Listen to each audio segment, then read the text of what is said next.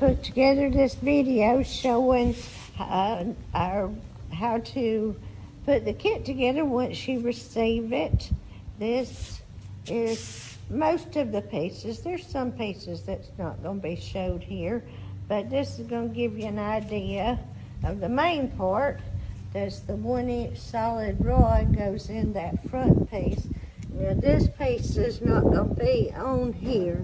We just have it on for, for show right now, but that bolts in right there at that hinge joint on each side.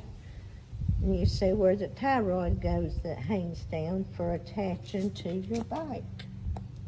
Yes. You have this back piece attaches to the two sides. The two sides now will come to you looking just like this, already welded together here. And just, it'll come to an end here for this back piece to slide on each side. He's going to show us how it's going, how we do that. And uh, it, what's really unique about this new feature he's come up with is that it's going to make the width very adjustable. If you've got a really narrow bike, uh, you can make it as narrow as 26 inches uh, from side to side or as wide as 34 inches like for the gold wings to open the saddlebags good. So this is really a huge update he's come up with on the kits and then so once you get this position where you want it and make sure that back piece is centered to the two sides then you've got these set screws that come in here. You see this one is still on here. Here's a close-up of the set screw. Countersunk. Countersunk set screw. And so here you'll want to take a 3 8 inch drill and go and countersink a little hole for the set screw to, to go into when you uh, use your red Loctite and put the set screw in. You'll do one on each side countersinking. And then the other one you can just tighten really, really tight. Put all your set screws in and Loctite it on and countersunk and everything. This is how you're going to attach to the mounting bar that comes down on the back from your bike and you will it'll it'll fall somewhere in this area and you drill the holes mark your holes for the u-bolts and it'll take two u-bolts on each side for each of your mounting kits and then you'll put Loctite on the nuts and then you have a jam nut that'll go with it. Is uh, being shipped out to go on an Ultra and he ordered running boards and bumper so that's why you're going to see the bumper on this and you also see the nameplate there. Um, the gold wing bikes do not get a nameplate on them because they're they're just not seen the way they're made, but most bikes do get the nameplate on them. And this is showing how we welded the bumper to this back piece. The back piece is a separate piece the, from the side.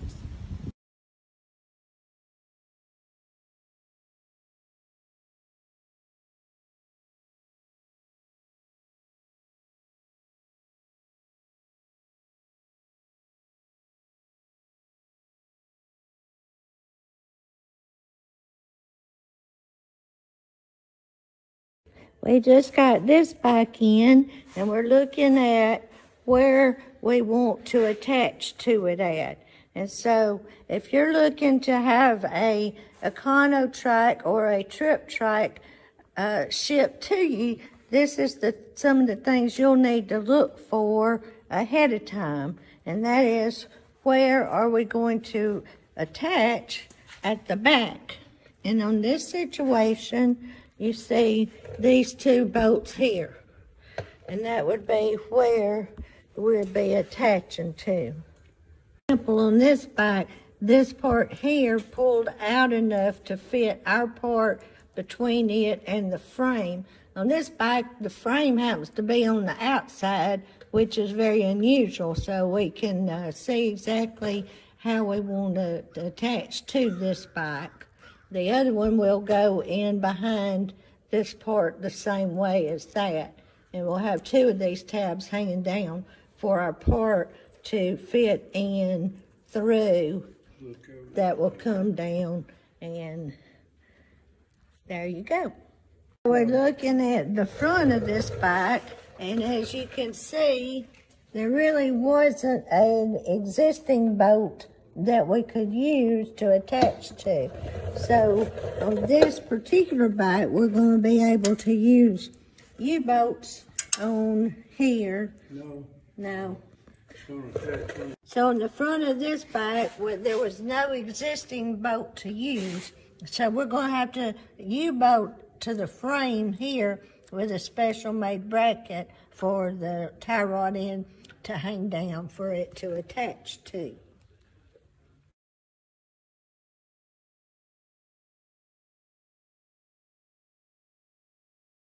Check between these two bolts that you're going to use.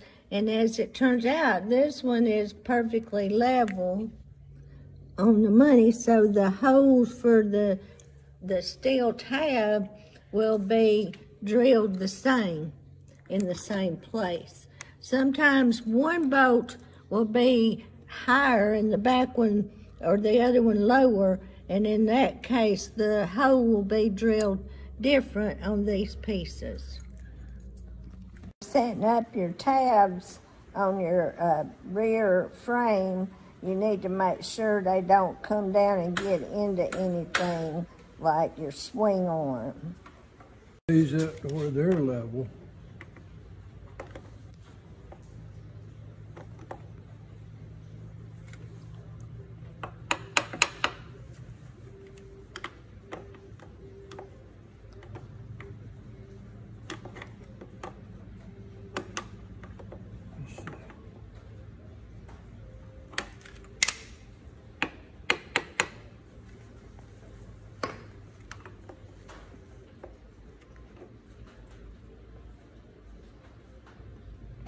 That's right on right there. Now we're ready to mark these holes.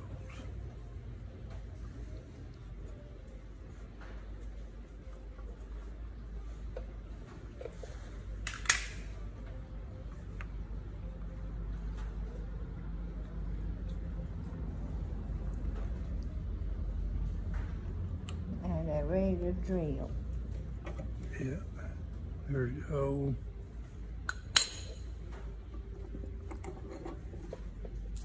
And there's your hole here. Have those to make a pattern for the other side also.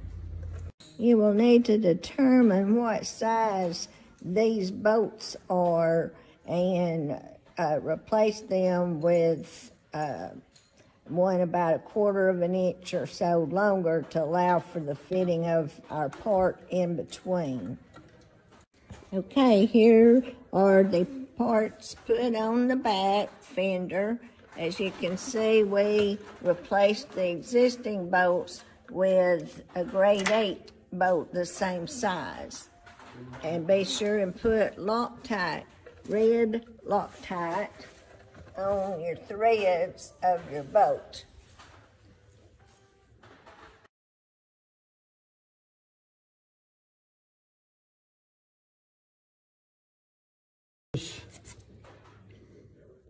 Four inches from the floor. And it helps to have a grease pencil on hand, a white grease pencil for marking on the steel and stuff. As you see, you've got a good bit of excess here. It can stay on there or you can trim it wherever you'd like if you want to trim that off, but it's not hurting anything on there. Um, on some bikes, as you can see, we've got this tab with this coming outward. some bikes it may fit better to turn it around where that's on the inside. And the same thing with this part, where it can be, it's universal of side to side right here that fits into this. Every bike's a little different, so this is just how it is on this bike. Show you how we're attached to the front on this Harley. Uh, this is a trip trike kit, but the same goes for Econotrike as far as how it attaches. Now, on this bike, the way it was up front, there wasn't an existing bolt, so we had to make this bracket, whoops, where am I? This bracket, and it's U-bolted to the frame of the bike, and it goes all the way under, and will be on the other side as well. And then, and you gotta, main thing is to make sure that this bar, one inch square bar right here, has a space between the bracket. That's why we have these washers as spacers, spacing out the tie rod end, so that there's space between the bracket and the kit. And then as you can see, this is how it's set up for this. This is showing how there's just not, there's little space here. He had to, whoops, he had to uh, drill this hole in this tab down low on this side because of this would have been in the way had he had the hole up in the top of this tab. That makes it universal.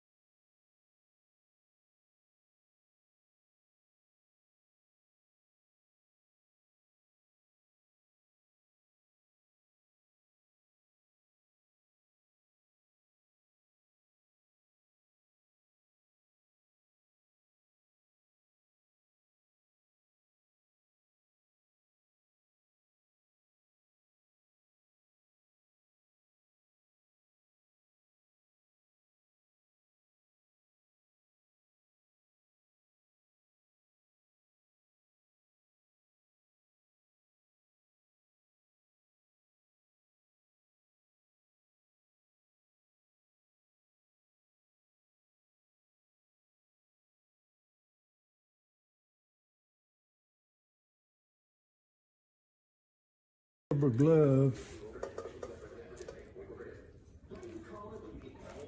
What are we doing? Greasing, You want to work the grease into the bearing good. and what kind of grease is it that we need? Any kind of bearing grease. We've used different kinds. Okay.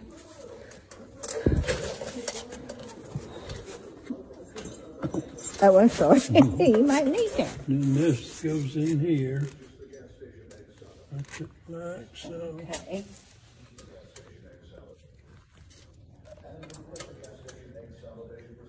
I don't particularly like this grease. It's too stringy. Yeah, it's like honey. Then you put the seal on there. Any kind of bearing grease will work. Yeah. You got the seal on it. And this Just- need a wood block.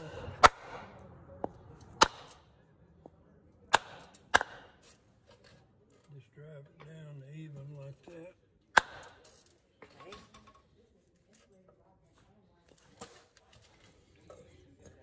Let's put this on there.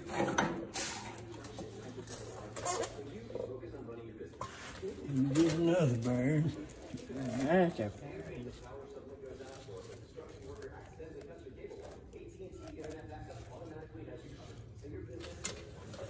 I always look here, the hole on this was like about 10 o'clock. I, I put, I do it like that where I can remember it. But once you get the grease on, you can't see the hole sometimes, but you can feel it. you. That's the hole for the cotter pin. Okay.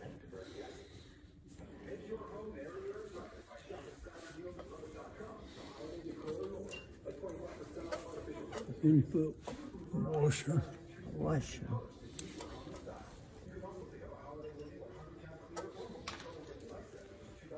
And you put a nut. I gotta get a wrench to tighten that nut.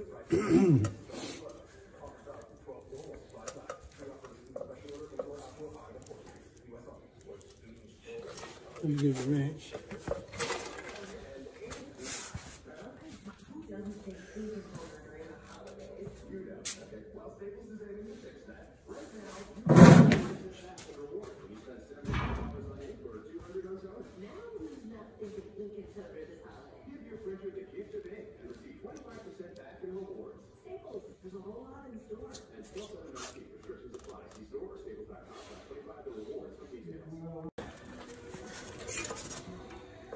Then this.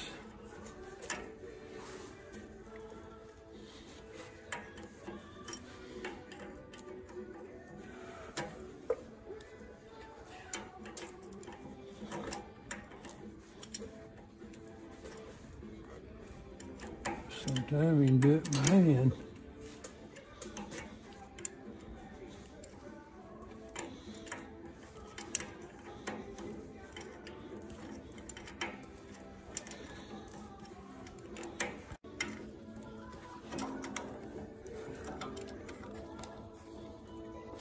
And what you want to do is tighten it to where this becomes hard to turn.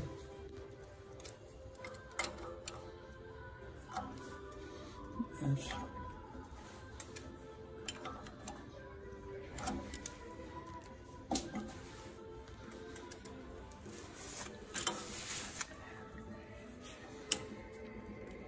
I'm gonna turn that slot back there to the ten o'clock setting. And then you know where to put your pen.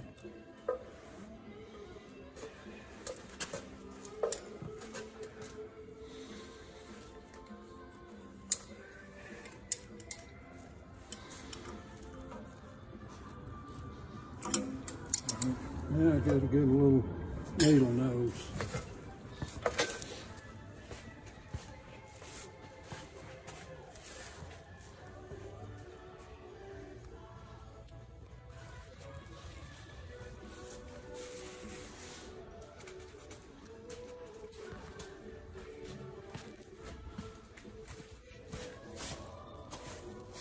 Then you just take it, catch it like right there. Bend that around. Then it's, That's the cotter pin. yes, then it's finished, remove the cap.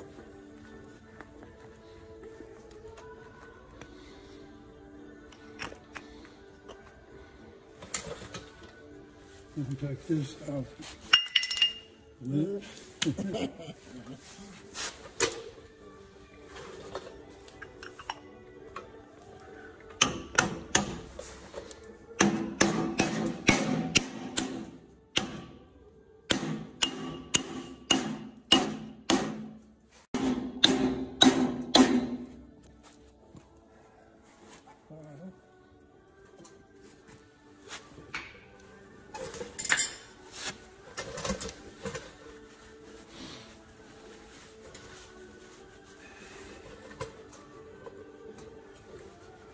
It feels pretty tight just because of the grease is cold.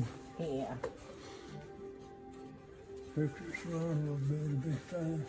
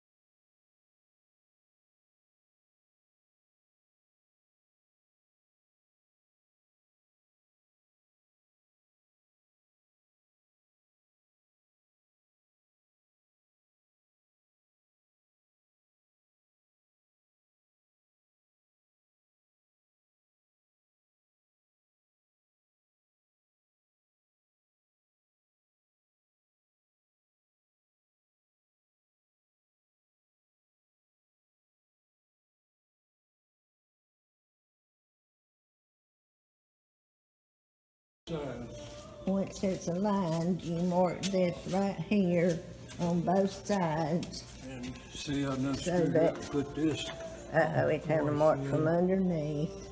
But I show you back on this side what we're marking is this mark right here so that this, you know where this is supposed to be at all times. And it gets tightened down there.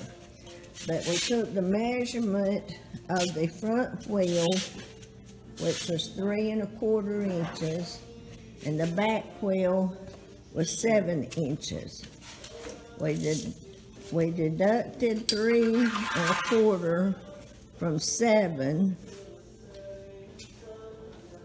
which left three and three quarters. And then what? Three and three quarters was the difference. subtracted three from seven, which leaves four, but then it was. A another- quarter, so that left three and three quarters. So when you deducted the three and a quarter from the seven inches, it left three and three quarters, which half of that is one and seven eighths. So the difference here is, is the- and seven eighths. the front will need to be, It was twenty-three on the back, so, no, The it was back- twenty-three and a quarter on the back. that measurement was twenty-three and a quarter, so if we do twenty-three and a quarter plus one and seven eighths, that'd be twenty-three. Oh, this gets complicated. Twenty-three, twenty-four and a quarter plus three eighths. So that makes it five eighths. Twenty-four and five eighths should be your measurement here on the front, from the tire over to your straight edge. And we mark it with just a piece of steel so that we know where it's at. Be twenty-four and seven eighths. No twenty-four and five eighths. Twenty-four and five eighths. And that tells you where you need your straight board to line up with. And what we're doing here is aligning the kit to the motorcycle. So then he holds the board, straight board, put it right there against that, and then align it, and if it's touching front and back on this It's tire, still perfect. It's then it's, it's perfect.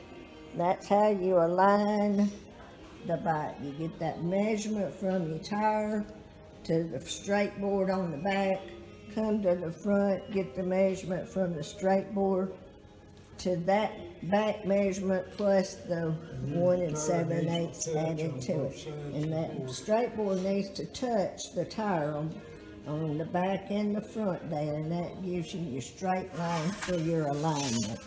Also, while doing this, you're going to need to make sure that your back stays centered with your wheel. As you can see, it's got a little mark there for the center, and it's lined up with the center of the wheel.